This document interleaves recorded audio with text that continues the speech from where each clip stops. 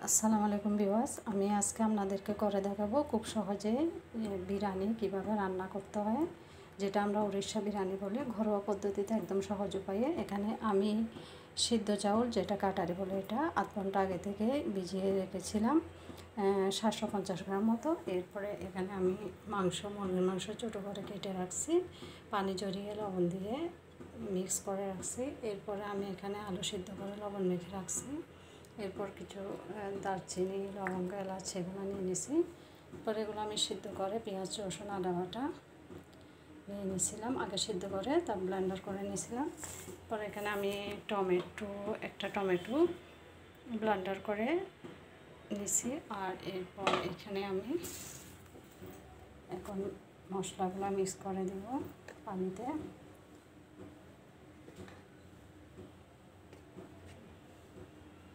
চার চামচ মশলার গুঁড়া তিন চামচ হলুদ গুঁড়া, আর হচ্ছে মরিচ গুঁড়া হচ্ছে তিন চামচ দিয়ে দিলাম। এরপরে এগুলো ভালো করে মিক্স করে দিয়েছি। এটা আমি চোলাই ডেক্সিটা বসাই দিয়েছিলাম। এরপর আমি পরিমাণ মতো তেল দিয়ে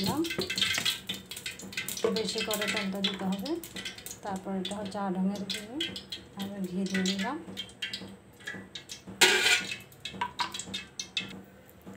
তেলটা গরম হয়ে আসলে এখানে আমি সব মাংস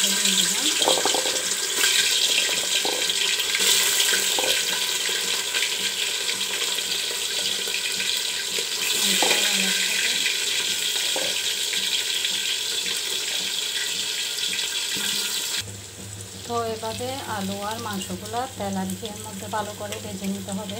ভেজে নেওয়ার পরে ভরটা নিতে হবে। এখন আমি তেলের মধ্যে পেঁয়াজ কুচে দিয়ে দিব। ভালো করে এখন এর ভেতরে মশলাগুলো দিয়ে দিব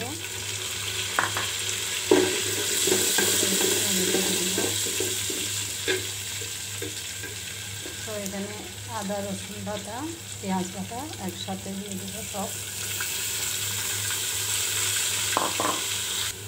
তো পেঁয়াজ, রসুন বাটাগুলো ভালো করে হয়ে আসলে তেল উঠে আসলে এর ভেতরে সব মশলা অ্যাড করে দেবো।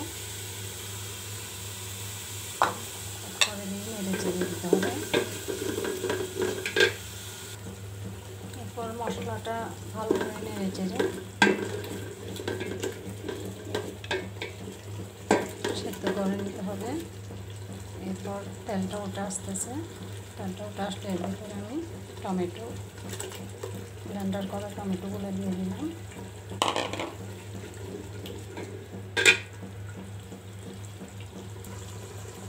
এখন মশলাগুলো সব কিছু একসাথে হয়ে গেলে এর ভেতরে আমি মাংস আর আলুগুলো দিয়ে দিলাম।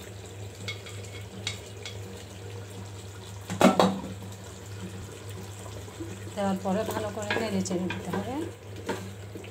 সব কান দিয়ে ওটাই পাল্টায় মিশে মিশে নেড়ে দেওয়ার পরে দিয়ে এখানে আমি লবণটা দিয়ে দিলাম। পরিমাণ মতো লবণ অ্যাড করে দিতে হবে। লবণ দেওয়ার পর এক চামচ চিনি অ্যাড করে দিলাম। দুই চামচ দিতে হবে কারণ ঝালের ব্যালেন্সটা যেন ঠিক থাকে। এরপর ভালো করে নেড়ে চেড়ে দু তিন মিনিটের জন্য দিব তিন, চার মিনিট পরে আমি ঢালনাটা উল্টিয়ে এর ভেতরে আমি চাউলগুলো সবগুলাই ঢেলে দিব। দিয়ে দিব একসাথে। একসাথে দিয়ে মিক্স করে আবার দুই থেকে তিন মিনিটের জন্য টাকনা দিয়ে দিব। এখন চাউলটা একটু ফুটে আসলে এর ভেতরে আমি একটু একটু ফুটে আসছে, এর ভেতরে আমি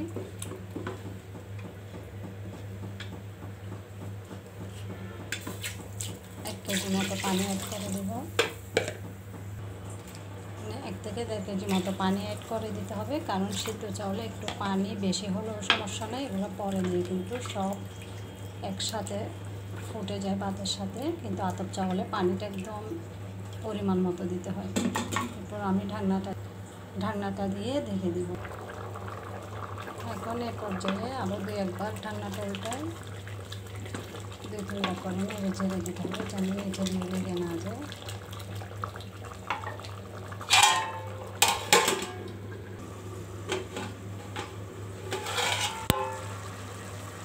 দেখতে পাচ্ছেন, আমার বিরিয়ানিটা প্রায় একদম রান্নাটা শেষের দিকে।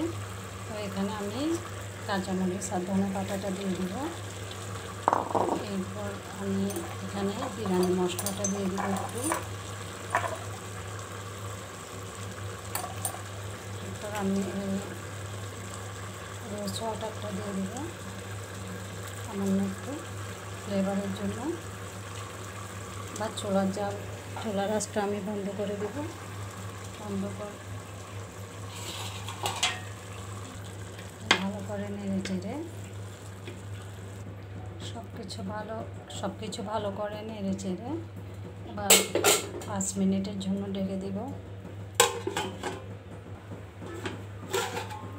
বিবাস পাঁচ মিনিট পর ঠান্ডাটা ওটাই নিলাম, দেখতেছেন আমার বিরিয়ানিটা কত সুন্দর করে হয়ে গেছে, একদম জোর জোরে একটা সুন্দর একটা ফ্লেভার আসতেছে, সুগন্ধি আসতেছে রুশের বিরিয়ানি ভাতের।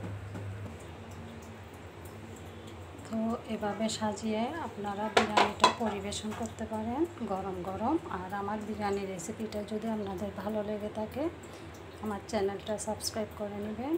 আর নতুন কোনো রেসিপি পাওয়ার জন্য নোটিফিকেশন অন করে দিবেন লাইক কমেন্ট করে শেয়ার করে দিবেন।